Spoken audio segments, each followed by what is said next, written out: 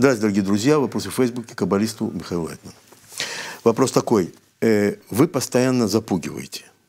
Пессимистичные прогнозы внушают людям пессимистичные мысли. Таким образом, мы формируем нашу реальность, знак вопроса. Такой вопрос вам задают. Ну, в общем-то, да. Запугиваете. Я не, я не запугиваю. Где вы видели, чтобы я запугивал? Я просто говорю о том, что нас ждет, если мы серьезно не вмешаемся в процесс нашего развития.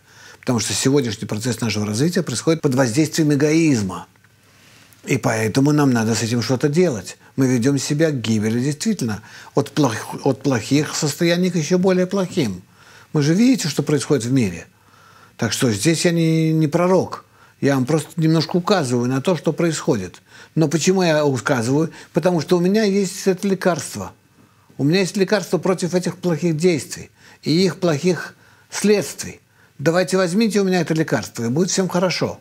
То есть, если бы вы не делали вот такие вот прогнозы, человек бы не понял бы. Вы думаете, человек не понимает. Его нужно все-таки немножко, немножко э, сказать ему, что его ждет. Минуточку. Я, я спрашиваю у вас, у людей. Когда я был маленьким ребенком и ходил в школу, там пятый, шестой или какой класс, мне родители говорили, стоит тебе хорошо учиться, не ленись ты будешь большим человеком, тебя будут уважать, ты будешь хорошо зарабатывать, ты сможешь обеспечить себя семью. Ты, ты, ты, ты, ты, ты, ты, ты, ты.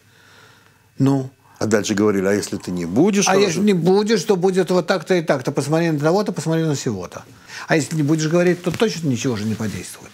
Понятно. Поэтому вынужден говорить. А вы меня извините за то, что я надоедаю, и за то, что я все-таки говорю не очень корректно, может быть, не очень приятно. Не Но то, что, что хотели бы слышать. Но поверьте мне, что я это говорю от любви к вам.